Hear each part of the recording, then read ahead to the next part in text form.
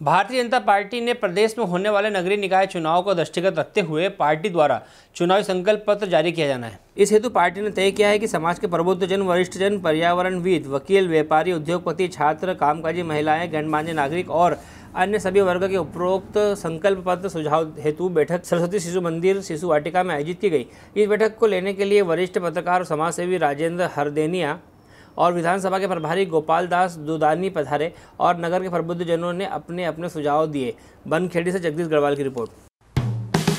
Hello friends आप देख रहे हैं हमारा channel S W twenty four news हमारे सारे वीडियो सबसे पहले देखने के लिए आप हमारे चैनल को सब्सक्राइब करें और पास में लगे बेल आइकन को दबाना बिल्कुल भी ना भूलें।